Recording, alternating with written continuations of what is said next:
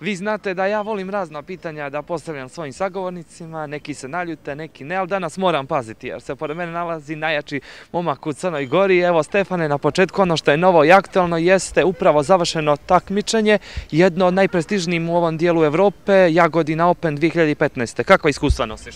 Hvala ti Božo, najjači, a iskustva, odlično je bilo. Za neki deset ja sam morao skinem 36 kg da bi se pojavio na toj bini jako kvalitetan i konkurentan. Završio sam na petom mjestu, mogli bude mnogo bolji plasman. E, zadovoljan sam svojim izgledom, e, mnogi profesionalci su se javili nakon toga, rekli mi da je to bila odlična forma. Zadovoljan sam takmičenjem svetla, publike u Jagodini bude, nekih 700-800 ljudi bude u Saru do 1000, tako da to bude baš nako dobro navijanje, dobra atmosfera, cijela moja porodica je bila sa mnom, prezdovoljan sam što će takmičenje cijelog. Čovječe, 36 kila. Za koliko? Kako mi to evo da postignemo? Kako gledalci koji sada ovo gledaju? Za koliko si 36 kila mak? Ja to što sam ja uradio ne prepučujem nikom, ali to je profesionalizam. Ja sam skinuo za 9 nedelja 36 kg i to ne neke sad masnoće nego ovoga mi nekog mišića dijela. A što se tiče vas, amatera, pa možete jednostavno javite se. To su otprilike sve sve do neka 3 mjeseca pa nadalje, sve zavisi koliko ima ko veliki, veliki problem i manji. Ovaj, radim kao personalni trener pa sam to naučio, hvala Bogu da rešavam kako treba. E, kakva je situacija bodybuildinga u Crnoj Gori? Hoće li na bolje? I da li misliš zapravo e, da e, mediji pružaju dovoljno pažnje svima vama koji se bavite ovim poslom?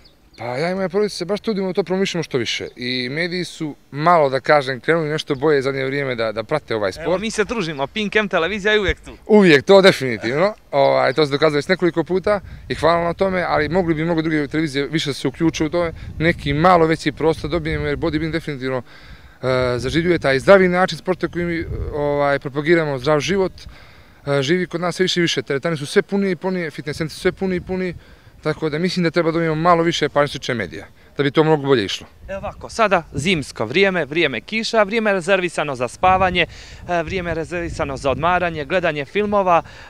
Hoće li nam tijelo sve to naplatiti, da nam kažeš kad tad?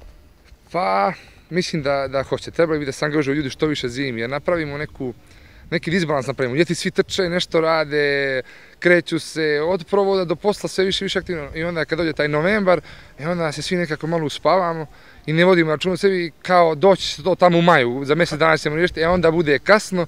Tako da je najbolje da se nađe neka, neka umjerenost, pa da se počne odmah s nekom manjom aktivnošću već 1. novembra, čim stanu te obaveze i poslovi odjedni kod nas. Mišići preko noći, korišćene raznih e, preparata, da ili ne? Ne sve što je preko noći ne valja, niti je zdravo, niti je, niti je dobro, niti ja podržavam posebno mladi momci ili cure koji se danas truju bez potrebe raznim stvarima koje, koje, za koje stvarno mislim da su mnogo loše i da ljudi samo tim ugrožavaju tuđe zdravlje, ti ljudi koji to prodaju, tako da sam protiv toga definitivno. Sve za, za, za to što se dešava preko noći sam skroz protiv. Veoma rano si e, postao otac, veoma rano si se oženio. E, znamo da e, cure, djevojke, žene vole mišića, pa kako sada da im odolimo. Haj. Pa, balansiram.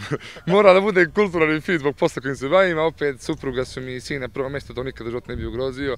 Ali moram da se fino što se kaže, ja im moram da se slikam kad treba da slikam kad ljudi pitaju, tako da balansiram znači, što, što više mogu. Što se tiče cura, rekao što si oborio, oborio si. To smo prošli put rekli, što sam oborio rekao, da oborio sam, nema više.